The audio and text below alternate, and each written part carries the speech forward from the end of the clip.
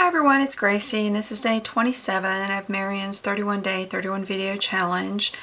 And um, today I decided to make a couple of cards just to have on hand. And um, I created this card using the Hero Arts and I guess it's called Anyone Can Stamp. Um, and I used uh, this little bird right here I thought he was so cute and I love the feathers and thought that I could use my Copics on him. So I stamped him and used about, um, I don't know, I think 12 different Copic markers and played around with them until I kind of got the look that I wanted um, since I'm not a professional by any means.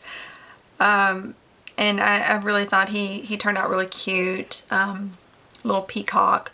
Uh, added a uh, rhinestone uh, for his eye and went over these feathers with some uh, clear stickles and then also put stickles on each uh, one of his little feathers and I added a sentiment from that same Hero Arts uh, stamp line and then I did three dots of black stickles there.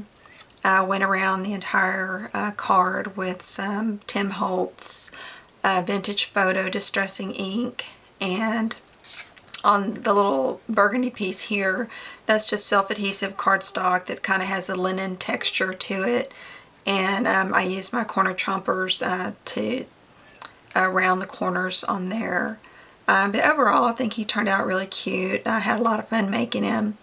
And I look forward to some more projects. Thanks for watching, guys. Bye.